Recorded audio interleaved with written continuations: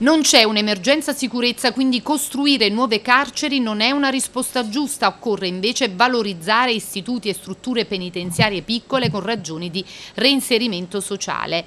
È la considerazione finale che emerge dalla tappa a Salerno nella casa circondariale del garante per i detenuti Samuele Ciambriello, oggi a Salerno per dare i numeri. Anche sulla casa circondariale che aperta nel 1981 continua a presentare un grave problema, quello del sovraffollamento sovraffollamento rispetto alla capienza regolamentare che in base ai numeri del Ministero della Giustizia è di 370 detenuti, a Forni ne sono presenti 488. Soltanto un terzo dei detenuti presenti è inserito in attività di lavoro e nessuno per datori di lavoro esterni.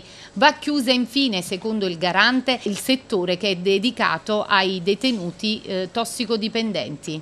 Abbiamo concentrato tutto, c'è un sovraffollamento eccessivo del 133% nelle carceri campane, 157% nel carcere di Poggioreale. Ma io dico ad una persona che sbaglia deve essere tolto il diritto alla libertà, non il diritto alla dignità. Sei, nove persone in una cella, il sovraffollamento in tutte le carceri campane, eccetto nel carcere di Eboli che è a custodia attenuata per tossicodipendente.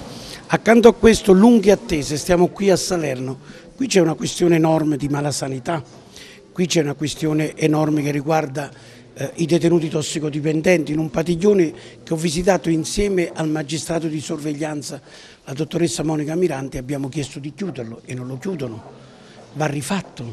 Eh, qui c'è un problema per esempio eh, di poco personale di agenti e quei pochi che ci sono spesso vengono aggrediti.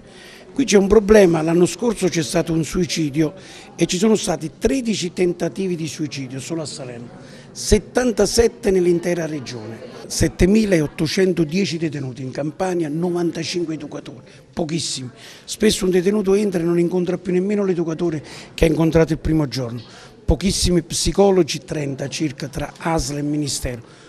Come fai tu a entrare in un carcere per la prima volta o essere recidivo e non incontrare diciamo, persone che sono in grado di ascoltarti. Perché non, per esempio, non utilizzare Skype? È un modo per relazionarsi meglio alla famiglia. Quindi noi chiediamo piccole cose dal valore non quantificabile.